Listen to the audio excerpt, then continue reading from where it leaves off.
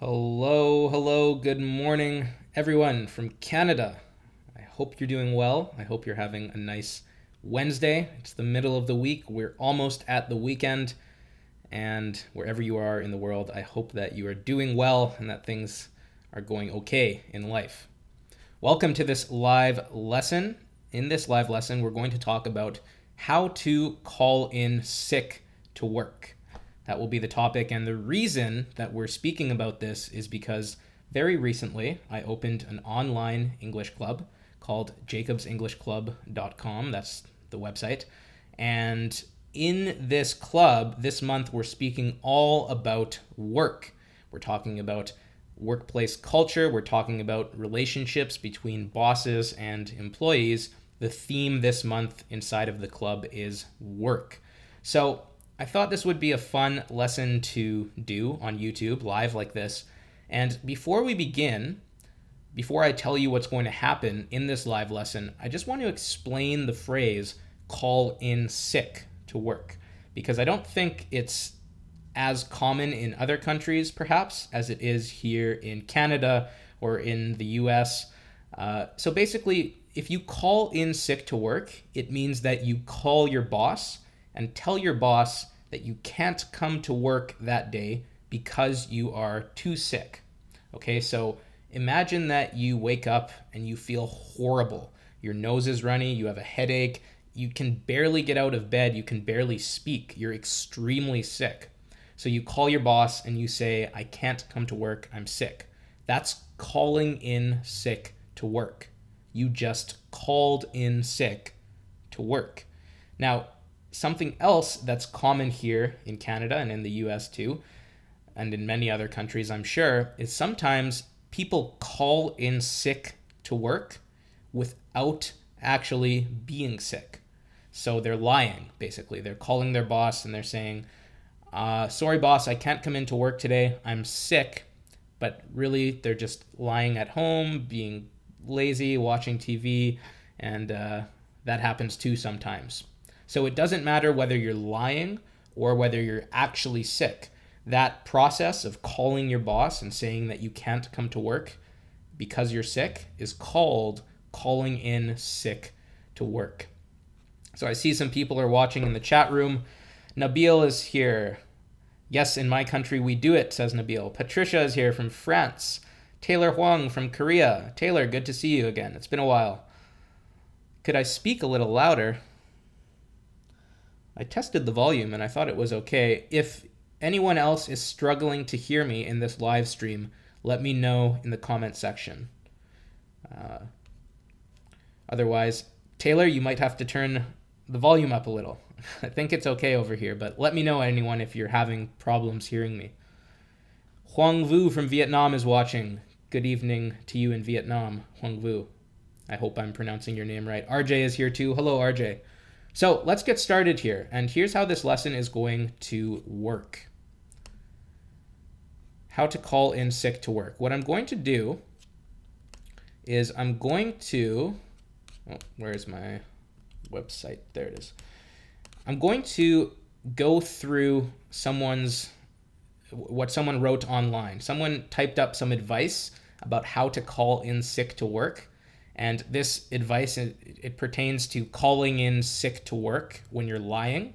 So we're going to read this response and we're going to learn some new vocabulary words along the way. I have a lot of questions for you, so you'll be able to practice, and it should be a lot of fun. So here's some of the new vocabulary words you're going to learn. And perhaps some of you already know some of these vocabulary words, perhaps some of you don't but we'll go over each and every one of these. Okay, so let slip, coming down with, politely decline, figured, and trooper.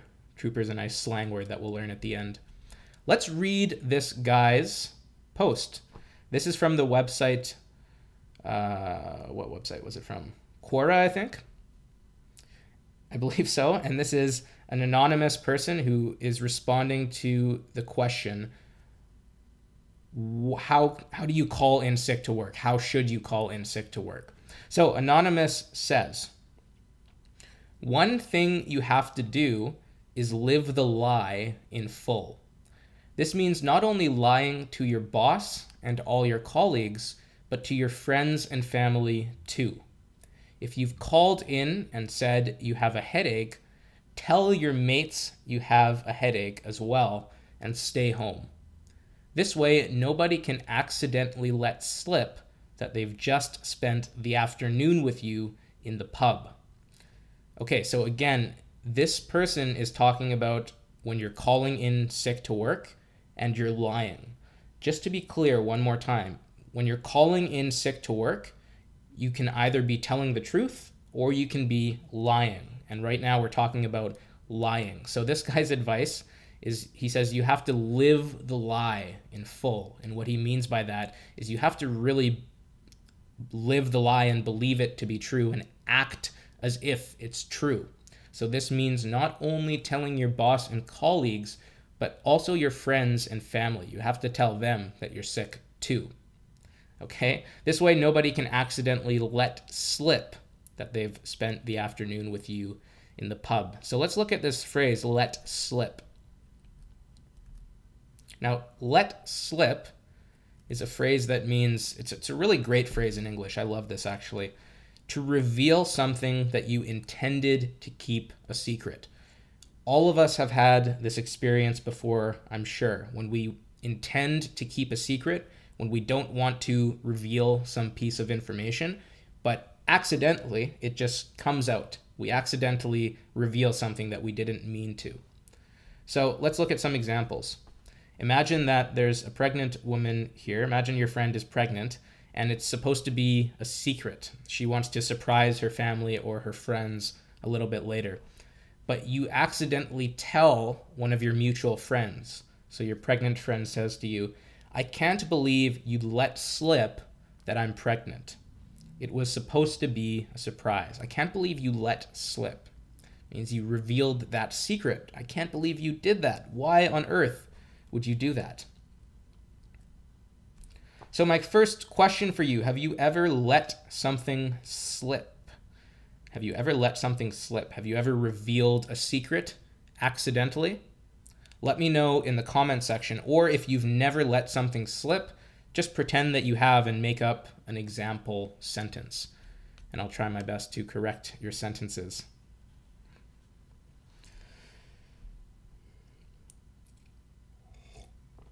Hope Me from Saudi Arabia, hello to you too.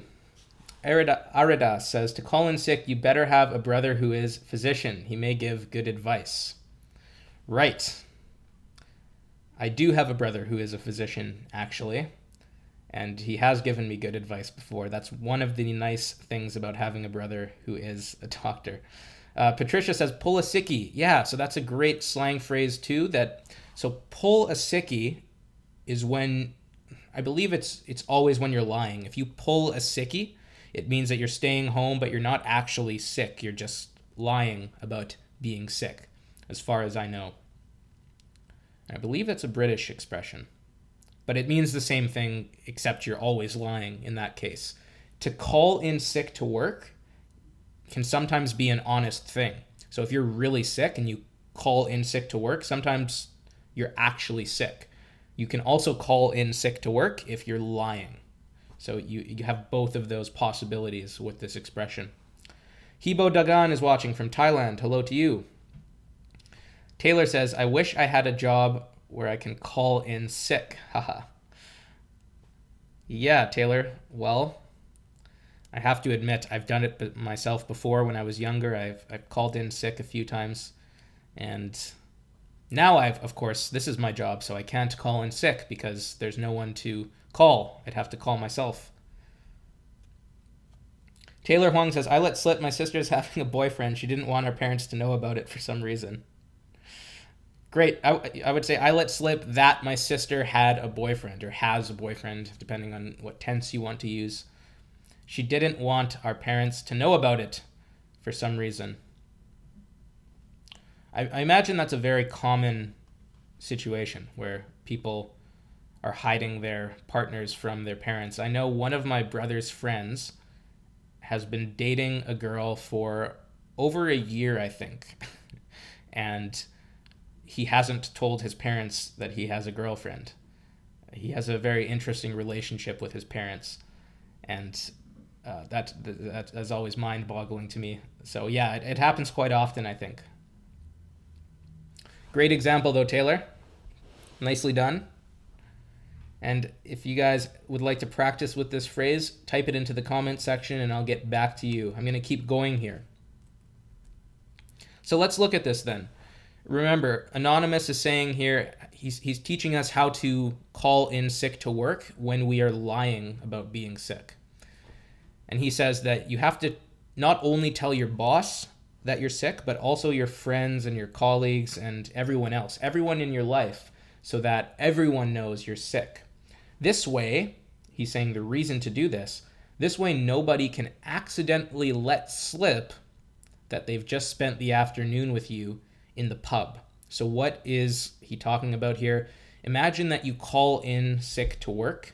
You tell your boss that you can't come to work because you're sick. But then your colleagues see you out in the bar later that night. Well, that doesn't look very good. Then the secret is out. That way, nobody can let slip that they've spent the afternoon with you in the pub. So he's saying, no, if, if you stay in, if you live the lie, if you tell everyone in your life that you're actually sick, then no one will know that you're actually not sick, and no one will let slip that you're not slip, not sick. Sorry. Okay. Let's keep going to the second paragraph. Lots of vocabulary words here. So what I'm going to do is I'm going to read through this paragraph and we'll go through each of these phrases separately. Also, set the lie up in advance. What this means is prepare the lie in advance. Set the lie up in advance. I love how meticulous this person is in, in planning this.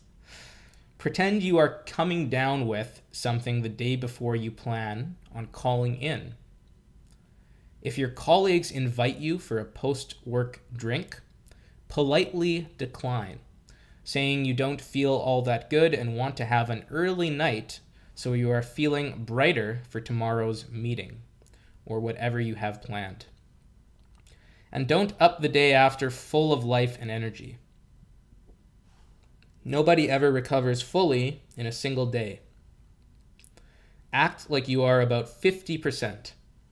Say, I'm still not great, but it's so boring just lying in bed. Figured I may as well come in and do something, even if it's not much. What a trooper, your boss will think. Okay, so this is a big paragraph. If you don't understand it fully, that's okay. We'll go through it. Let's start with coming down with. Now, I'm, I would guess that many of you probably know what this phrase is, but coming down with is a great phrase to know if you don't. First of all, it means beginning to get sick. So, for example, I think I'm coming down with a cold. What that means is I think I'm beginning to get sick. I'm beginning to have a cold.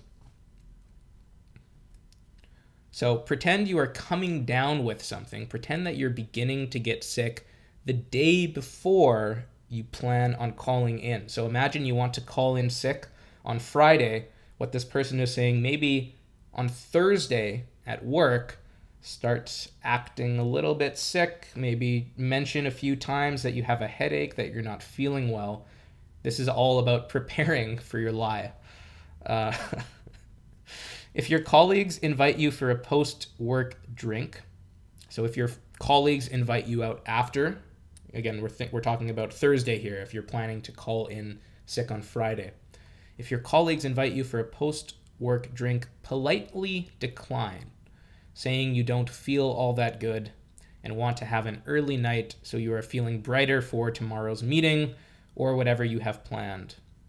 Here's a nice phrase to know, or just a verb rather. To decline, now, decline can mean a few different things in English. Decline can mean decrease, okay? But it can also mean to reject an invitation to do something.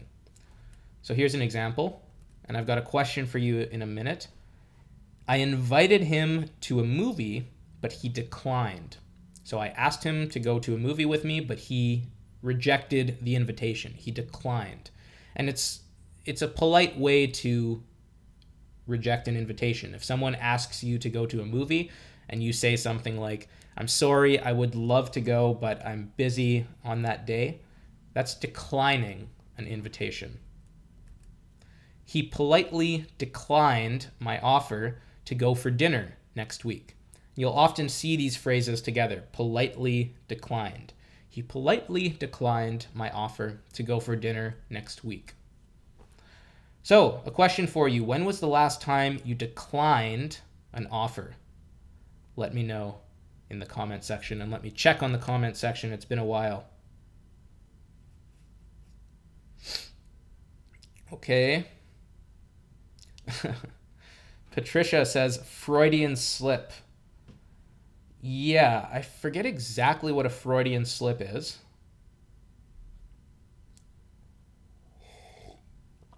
But maybe I'm wrong about this. I think it's just when you're thinking about something deep in your unconscious mind. So I guess you don't know you're thinking about it, but it comes out and you weren't thinking about it consciously. So something that you didn't know you were thinking about comes out in your conscious mind and you voice that. I think that's a Freudian slip. And of course, uh, that's references the famous psychoanalyst Freud.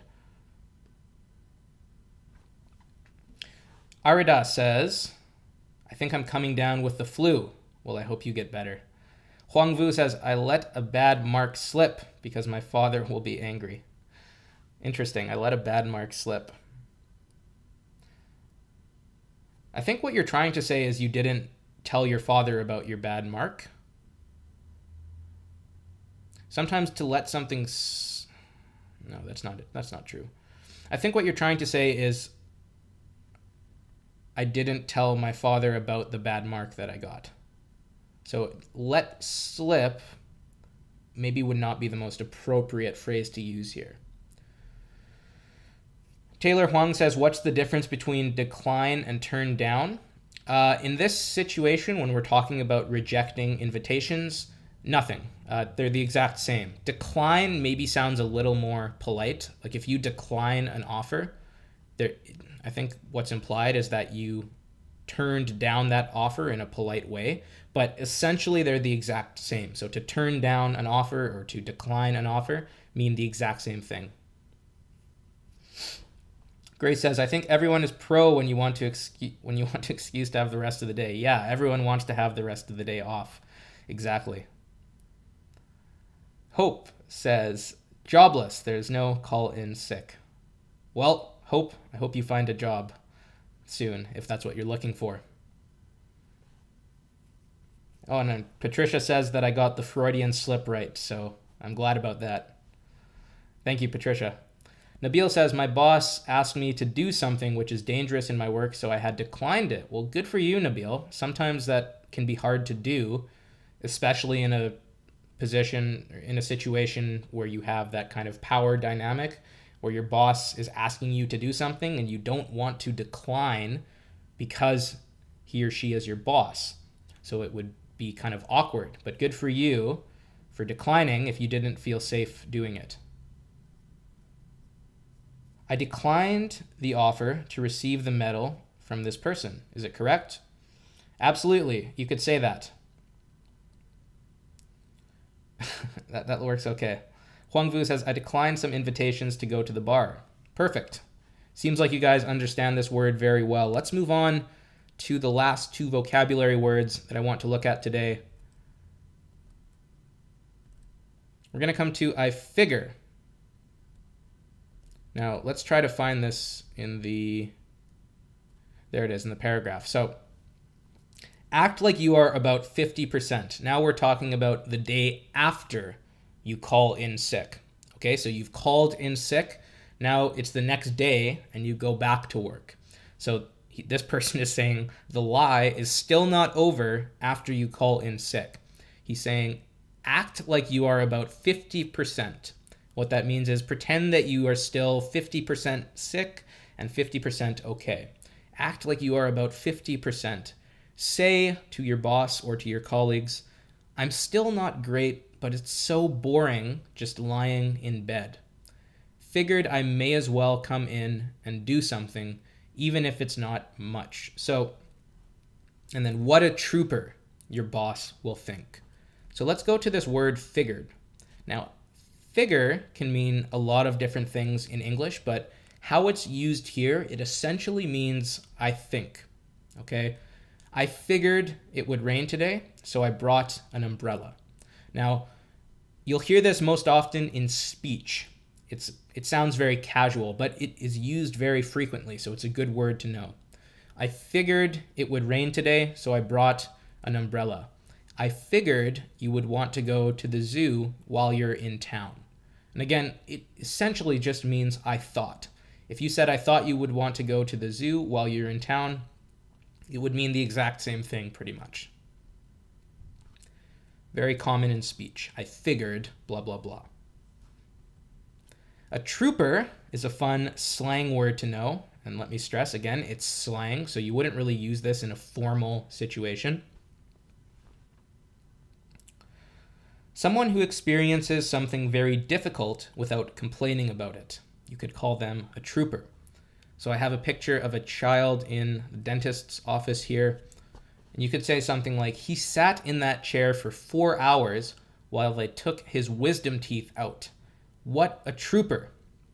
By the way, wisdom teeth are those teeth that are the farthest back in your mouth that sometimes people get taken out. I had my wisdom teeth taken out. And this was actually true. I did sit in the chair for four hours while they took my wisdom teeth out, and it was horrible. So imagine a child who does that. You could say about that child, he's a real trooper. She's a real trooper for sitting in that chair for four hours. And it means that they sat in that chair for four hours without complaining. They dealt with the situation. That person is a trooper. Okay? So, figured I may as well come in and do something, even if it's not much. What a trooper your boss will think. So, what he's saying is if you say this line, I'm still not great, but it's so boring lying in bed, your boss will think you're a trooper because your boss will think that you're sick. Your boss will think that you are uh, fighting with your sickness to come into work, to do work for the company, and your boss will think that you're a trooper. That's what that means. Now, here's a fun game that I want to play with you guys. So, this is how we'll close the lesson. This is true. So, this is from the website um, careerbuilder.com. And every year they do a study in the United States about calling in sick to work. In 2017, what they found was 40% of workers called in sick without actually being sick. So 40% of workers had done it at least one time, I think. Now, what I want you to do, I'm going to give you some very strange excuses that people gave. These are real excuses that people used when they called in sick to work. And I want you to try to imagine that you are this person that you're using this excuse and that you're calling in sick to work. What would you say to your boss if you had to use this excuse? Okay, so keep in mind, these are real excuses. This is the first one. Imagine this is something that someone actually said. A bear was in the employee's yard and the employee was afraid to leave the house. So imagine you're calling in sick to work and you say, Boss, I'm sorry, I can't come into work today. There's a bear in my yard and I can't leave the house. I'm afraid. How would you explain this to your boss? What would you say to your boss if this if you had to use this excuse?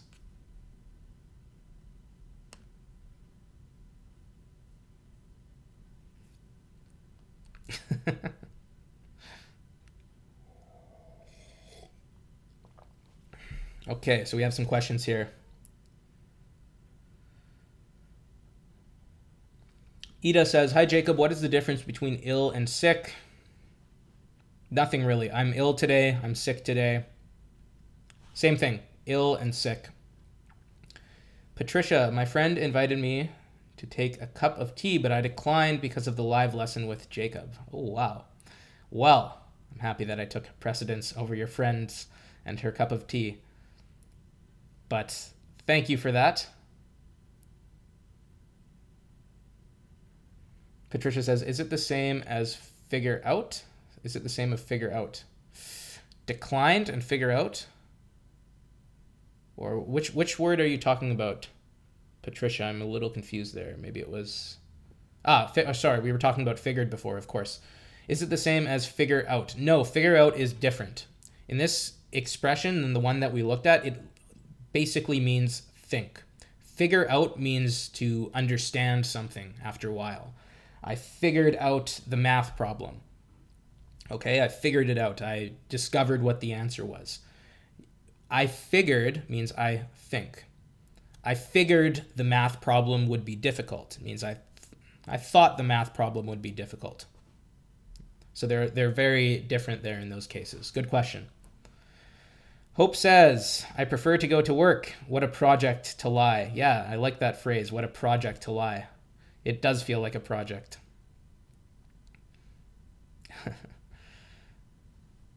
Arida says wisdom teeth equals dense de sages. Eh, my pronunciation was probably awful there, but cool. And I would guess dense equals teeth then, maybe. Grace says, ha ha ha, too much acting. That's why I don't like lying at work. They will figure it out the way you speak. Yeah. Good point, Grace. It's easier to tell the truth. Patricia says, no bears in France. Ouch, no bears in France. Yeah, so you can't really use that excuse if you live in France. Okay? If you want to try to practice using this excuse, so imagine you're on the phone with your boss and you're calling your boss to say that there's a bear in the yard and you can't go to work. How would you phrase this excuse? What would you say? Let's look at another one. This employee did not have enough gas to get to work. It's an interesting excuse. Employee did not have enough gas to get to work. Let me know what you think in the comments section. How would you say that? Taylor Huang says, There's a bear in my yard, and I'll go to work as soon as it disappears. Perfect.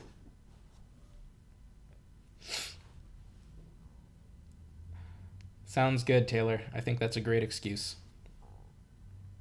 If I was your boss, I would say, Okay, Taylor, take all the time you need.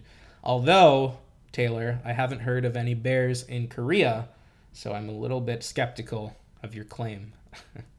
That's what I would say if I was your boss, Taylor. And I would try to say it in Korean, maybe, but my Korean's not so good.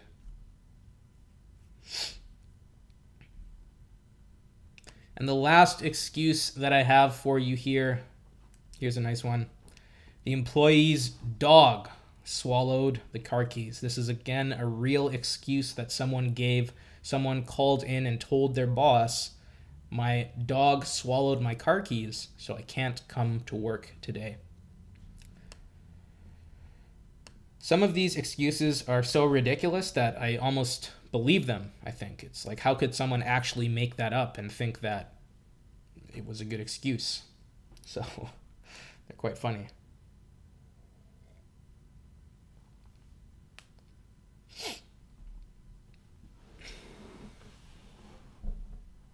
figure out equals find out. Figure out is more. It can be the same thing, I think, sometimes, but figure out is more about understanding. They're very similar. Find out is when you discover. I think that is probably the thing that differentiates them. So if you figure something out, imagine you're working on a problem and you spend a lot of time working on that problem.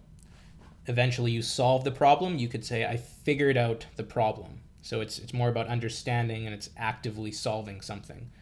Find out is more about discovering something. So imagine you hear some information while you're sitting on the bus, you hear some people speaking, and you find something out, you discover some information about, I don't know, what's happening in the world somewhere. That's what finding out is. So they are kind of similar, but they're quite different too in some ways. I hope that helps Huang Vu. Aridas, a common excuse, the alarm clock didn't ring. Yeah, and sometimes that happens. Sometimes the alarm clock rings and you still don't hear it. I have definitely turned off many alarm clocks in my sleep.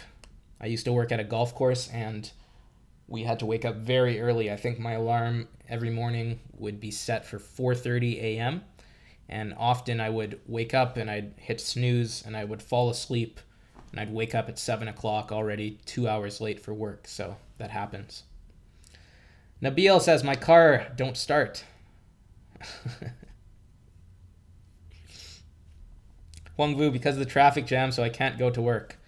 Boss, I'm so sorry. There's a traffic jam and I'm going to be late for work, or I can't come to work today. There's a horrible traffic jam. Great excuse. Taylor says, I'll have to wait until the dog poops. I don't know how long it's going to take. Another great excuse. Very nicely phrased, Taylor. I'm happy that you uh, you could give that excuse. Nice one. And there's really no other option, right? If your dog swallowed your keys, you have to wait till the keys come out. So that is the lesson that I had for you all today. Thank you so much for watching. I will be back now on YouTube every Wednesday like this. That's my plan. Uh, next Wednesday, I'll be here. The Wednesday after that, there won't be a live lesson, but I'll remind you of that a little bit later. But next Wednesday, I'll be back on this channel, same time, and we'll have another party over here. So I hope that if you have to call in sick for work in English, that this lesson helped prepare you to do that. Grace says, Dear boss, I sent my video to your mail and I can't work for today. Help! I sent my video to your mail and I can't work for today. Interesting. Okay. Well, thank you all so much. I'll see you again very soon next week. And I hope that you all have a fantastic day or evening or afternoon wherever you are in the world. Bye bye.